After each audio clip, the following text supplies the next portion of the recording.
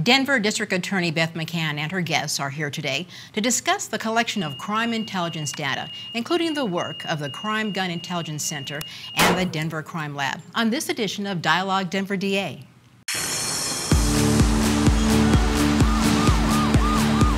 The Denver District Attorney is a state of Colorado office elected by Denver voters. The two primary goals of the Denver District Attorney are prosecuting criminals to the fullest extent possible and protecting the rights and interests of innocent victims.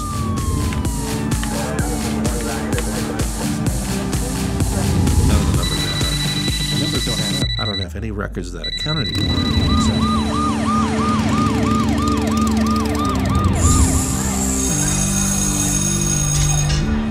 Let me refer you to someone who can help. I've got him on the line. Thank you.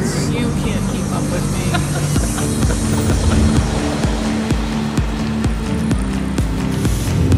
Thank you, ladies and gentlemen. Case closed. Hello, everyone. I'm Tamara Banks, and welcome to the show. Let's welcome Denver District Attorney Beth McCann and Gregory LaBerge, Director of the Denver Crime Lab. Also joining us is Assistant District Attorney Ryan Brackley and Chief Deputy District Attorney Steve Abraham. Everyone, welcome to the show. Good to have you here. thank you. Thank you. So, Beth, my, my first question I want to ask to you to sort of set the tone is um, of course, the DA's office is supposed to prosecute criminals, right? So, we all know that. But what happens between the time the crime is committed and you file charges? In other words, how do you determine what charges to, to file?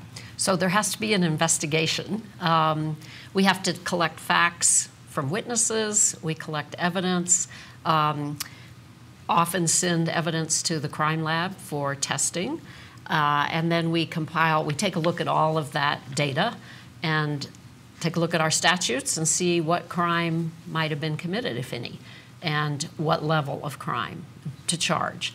But um, we, we won't charge a crime unless we believe that we have enough evidence that a jury could reasonably find someone guilty of that crime beyond a reasonable doubt. So our investigation is really critical. Right. So that's why we have these experts here with us today to talk a little bit more about how we gather that information. So the investigation of a crime and the collection of that crime intelligence data depends on the collection of the information from a variety of sources. So Gregory, tell us about the, the crime lab and the role it plays in investigations. The crime lab has several units. Um, really, when an investigation begins, the first unit to respond is the crime scene unit. So we have to establish uh, A, what is the crime scene, uh, the size of the crime scene, and, and what is involved in that crime scene. So pretty much anything can be evidence. It just depends on the case we're investigating. So we work with detectives initially to process the crime scene, identify evidence, package and preserve it, and then store it in the property bureau until we do analysis. After that, we talk to the detectives and have an interview, sometimes very formal, sometimes informal, where we sit and discuss with them the nature of the case. What are we investigating? What's alleged to have happened? And what evidence and testing can uh, be done to help to resolve that, to answer specific questions in an investigation. Once that's established, we do a request. They'll request our services. And then we have processes in the crime lab to go through and to test that evidence and derive the results and get the reports back to the detectives in a timely manner. So that's in general a very general approach. Um, we also have a lot of specialties. We have DNA, chemistry, uh, arson investigations, uh, latent print analysis. Uh, we have uh, forensic video analysis called the forensic imaging unit that looks through video and can get still images. We have many technologies that we employ to do this on a daily basis. So I imagine the relationship between the crime lab and the district attorney's office is pretty important in order to, to solve crime. So Ryan and Steve, can you build a little bit more about what that relationship looks like and how that works? So we'll often start working with the lab um, at a crime scene. The DA expects um, her deputy DAs and chiefs to go out on homicide cases so that we're there available to answer questions, consult, and just basically be there to be part of the team. So oftentimes we'll start interacting with Greg's folks at, at a crime scene. Um, sometimes we'll be asked about the importance of certain pieces of evidence or about collection methods, um, basically advising the detectives and the lab as they start working together on a case. as we get deeper into a case and we get to that charging stage, oftentimes we'll ask the lab to, to test particular pieces of evidence if we need particular questions answered. For instance, if there's a, a gun found at a scene and we can't we don't have a witness as to who put that gun at the scene, we might ask for fingerprints or DNA testing. If there are ballistic evidence, bullet shells or bullets at a scene, we'll ask the lab to analyze those so we can try to compare them to each other or perhaps a known gun. So we will look at the evidence that's collected at a scene or the evidence at a scene, and we'll start working with detectives in the lab to decide what's most appropriate to test. Um, the lab asks us or tells us we can't test everything. So we work together to define what's most important. And sometimes that changes. And, and Steve, uh, as the chief assistant DA, what is your role then in, in bringing this all together? So I'm assigned to a courtroom uh, with a staff of attorneys and investigator and a victim advocate. And so our work with the crime lab is often after that initial investigation and the filing of charges as the case moves through the court system. So as the case is assigned an attorney or attorneys, um, they continue any follow-up investigation. Sometimes we do interviews with witnesses or re-interview witnesses. Uh, we learn new things about the case, and then we'll take a look at testing that's been done at the lab already and see if that's sufficient or if the case is proceeding to trial, if we need to do some additional follow-up work. Um, on a drug case, for instance, that might be going to trial, we have to confirm the results of the presumptive testing. Um, on initial DNA testing, we'll have to follow up to see um, uh, if there are other witnesses or individuals who are present at the crime scene. Then sometimes we have to file motions to get their comparative swabs, resubmit that to the lab.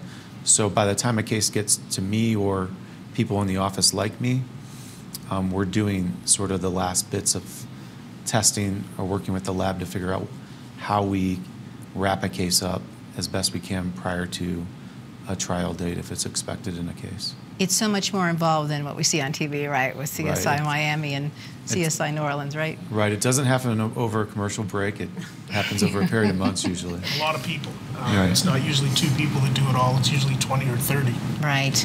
all, all told. So tell me about the, is it the gun, uh, Crime Gun Intelligence Center? What, what is that? Crime Gun Intelligence Center is a concept that we actually founded in late 2012 uh, in collaboration with ATF and DPD Investigations and the Denver DA's office. It was a collaborative project. And, and most things you'll find around Denver and Colorado are highly collaborative. That's one of the great things about living here.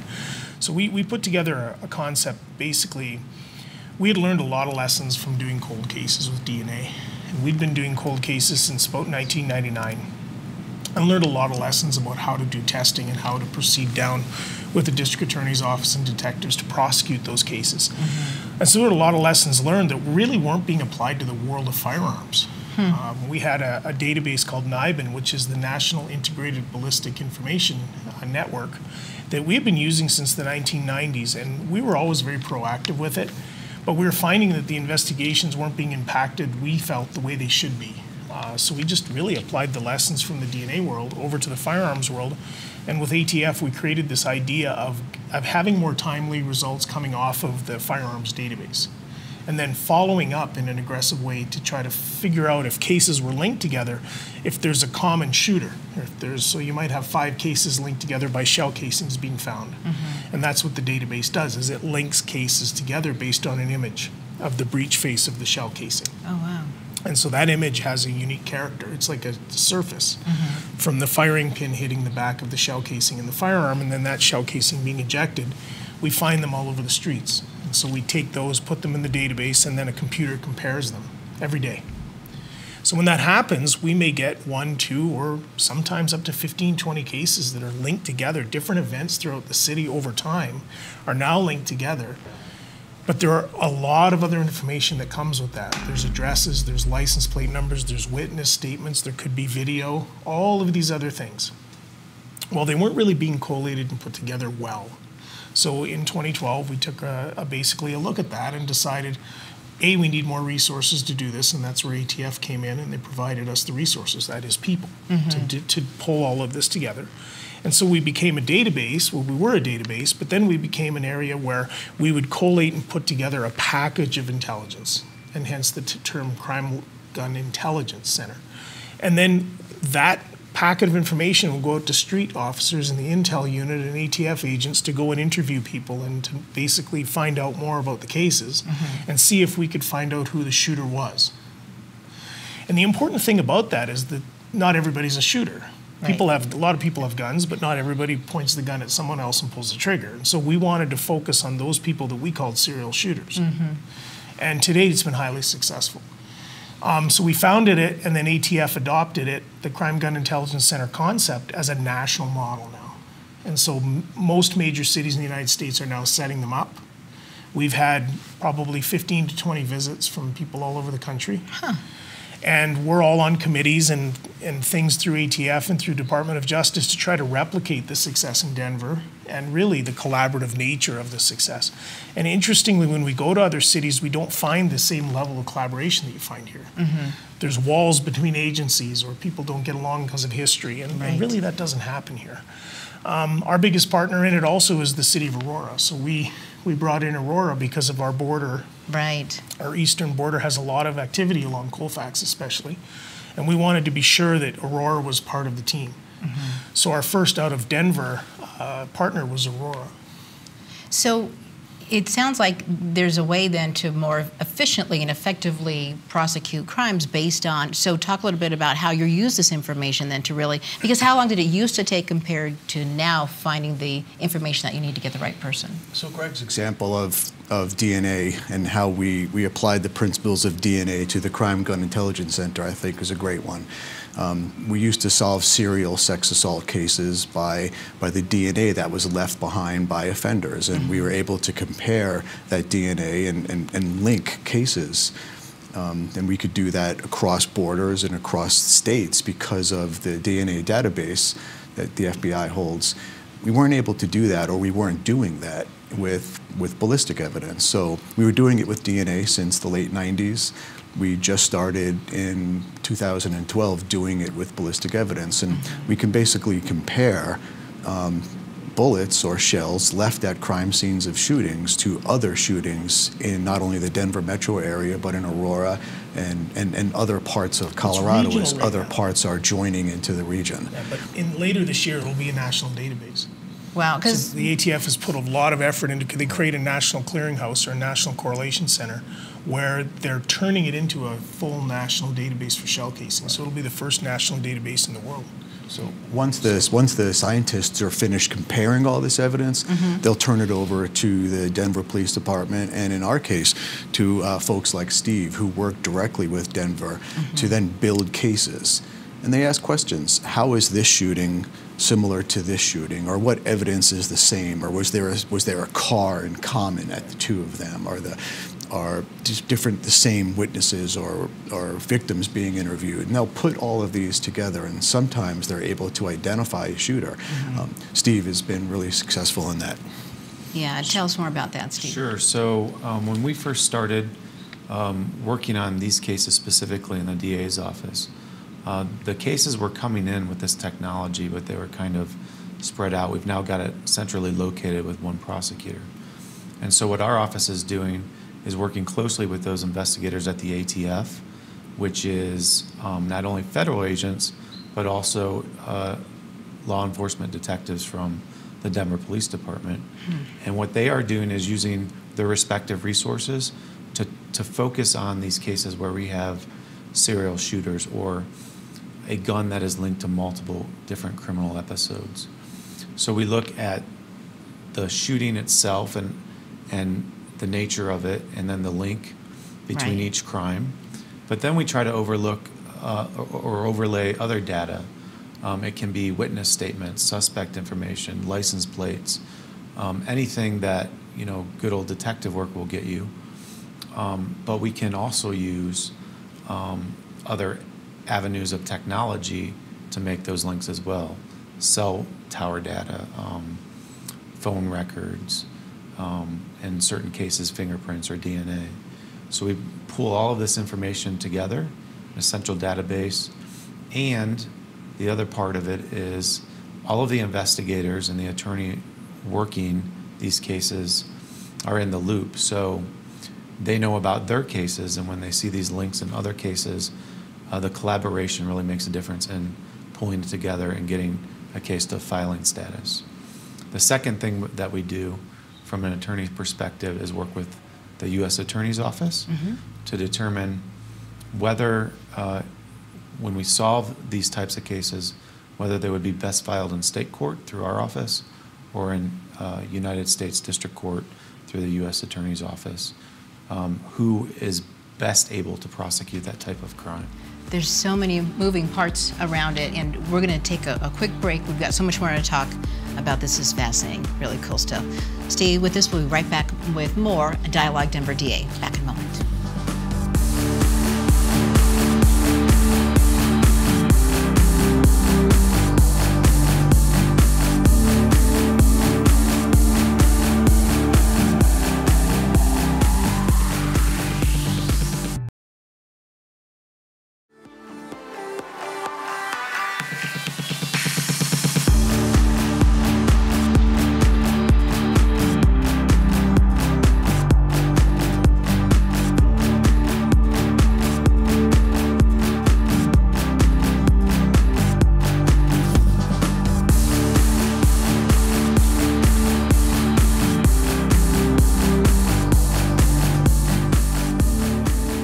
Welcome back, everyone. This is the part of the program where we talk about a legal term. And today's legal term is habitual offender. And the definition is a defendant who has been previously convicted two or more times of a Class 1 or Class 2 or a violent Class 3 felony. A habitual offender is subject to more severe sentencing. The court must consider the prior convictions in determining the sentencing in a current case if a person is proven to be a habitual offender. So it sounds like it's pretty straightforward. Well, yes and no. We Yeah. have to we have to actually prove the prior cases Mm-hmm. to um, to the court. So, and we make a decision whether or not to actually file a habitual criminal count. It's not an automatic Oh, so uh, it doesn't- filing. No, One, two, three, you're- there's discretion. So if we don't think the kinds of crimes, for example, if they are nonviolent, fairly minor crimes, even though they're felonies, Mm-hmm. we're not going to file a habitual criminal. It's really more for the violent uh, kinds of crimes or people who just won't stop. You know, after seven or eight felonies. Gotcha. Okay, so back to the topic at hand. We were talking about the um, Crime Gun Intelligence Center, and I know you're working with a, an amazing team of people that are really setting the tone for the rest of the nation. Tell us more about that. So I just wanted to um, emphasize, you know, Greg is rather modest. I think we are really at the cutting edge in many ways of this technology. And um, people come from all over the country to visit the crime lab here in Denver. Uh, we are really at the forefront. The other thing that he didn't mention, which I think is really impressive, is the speed with which the crime lab um, analyzes these shell casings. You know, they'll come in the night before and they'll analyze them by the next day, which is amazing. I, I just we just don't see that in other kinds of crimes, honestly. So it's a it's an amazing technology that that we have here. That's, One thing that we hear when we travel around is that that level of collaboration and cooperation in Denver is is so much more than any other place in the country.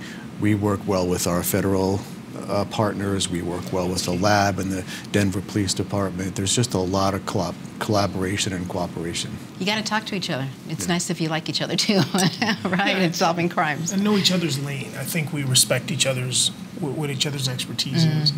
Um, and, and again, the 24 to 48 hour turnaround is important. I think that, um, and, and, I, and I think it's important to mention that all brass, so all shell casings that find their way onto the streets of Denver goes into this database within 24 to 48 hours. So if shots are fired, we have uh, ways of finding those shell casings, and when they're found, they're brought to the property bureau, and every morning they go into that database.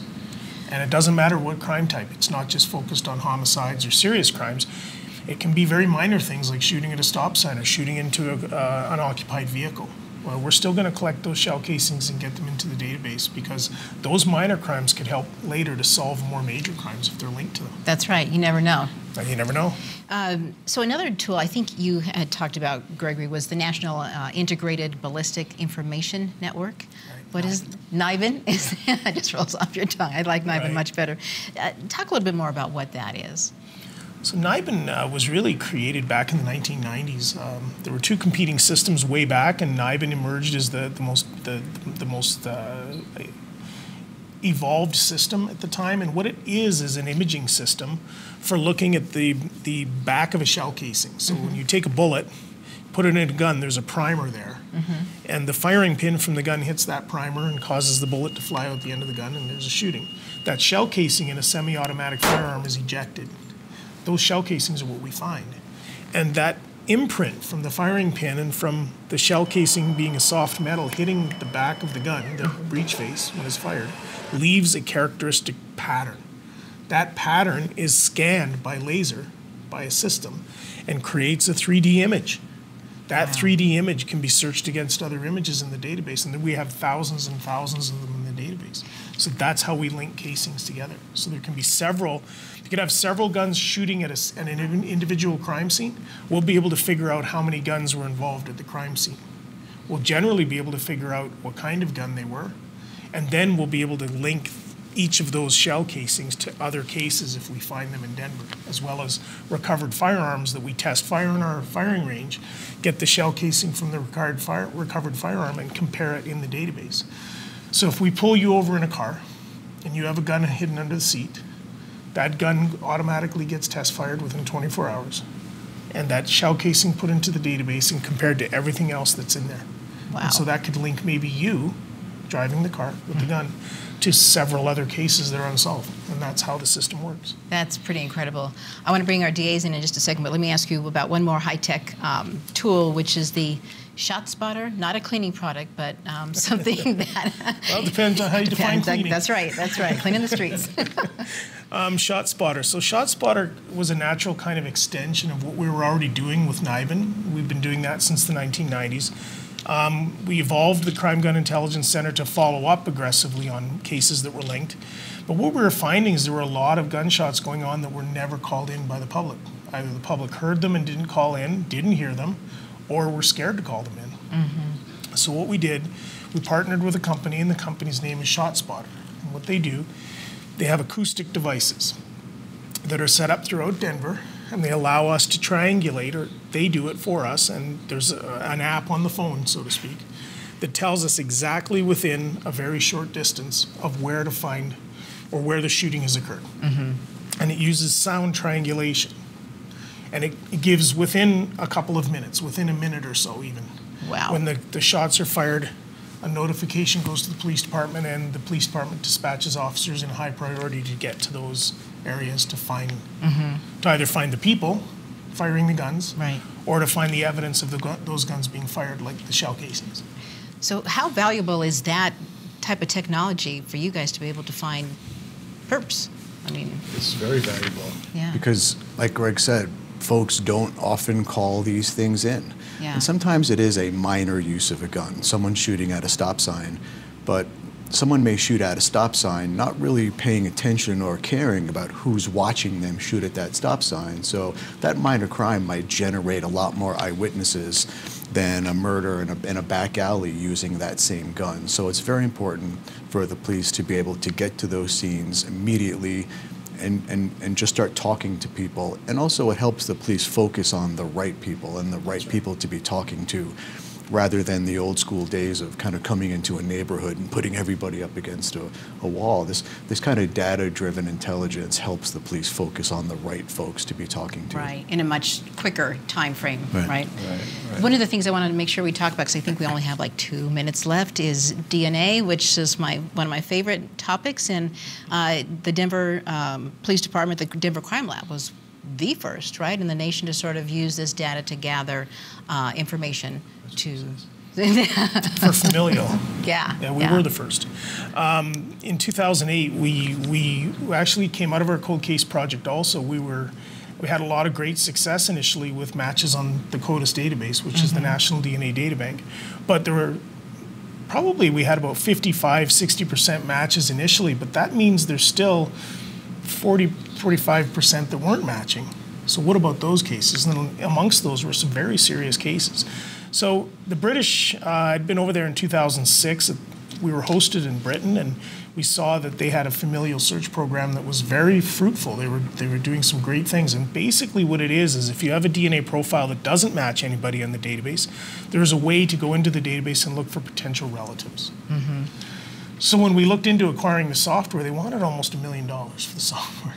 Wow. And so um, myself and an employee at the, at the Denver DA's office at the time, we sat down and in three months we created a piece of software in Microsoft Excel and it was really clunky and it worked, but it took a long time. So we evolved it from there to create a program that would actually do it. And so we did that in 2008. And uh, from there, you've seen a lot of things happening around the nation about using DNA to detect family members in databases, including recently with ancestry-based tools. Right. That's pretty amazing. The Golden State Killer, for example. Oh my gosh. Uh, A great serial piece of killer, 70s and 80s, right? Yeah, in California Bay Area. Oh, actually, all up and down California. Right. Right. We only have about 20, 30 seconds left. Beth, I'll just leave you with the final word about how this team really pulls together to solve crimes. So I'm extremely proud of the work that we do in conjunction with our partners um, to successfully prosecute, particularly these gun cases. And, um, you know, I think we really want to focus on violent crime and we want to try to get more guns off the streets of Denver. So when we have the kind of crime lab work and crime scene technicians that we have here in Denver, and then our my terrific staff that works so hard to put these cases in front of a jury, in front of a court, um, you know, that's really satisfying in terms of public safety. And um, I think we are citizens of Denver are very lucky to live in this city in terms of the ability to um, solve these crimes and work together to really bring people to justice.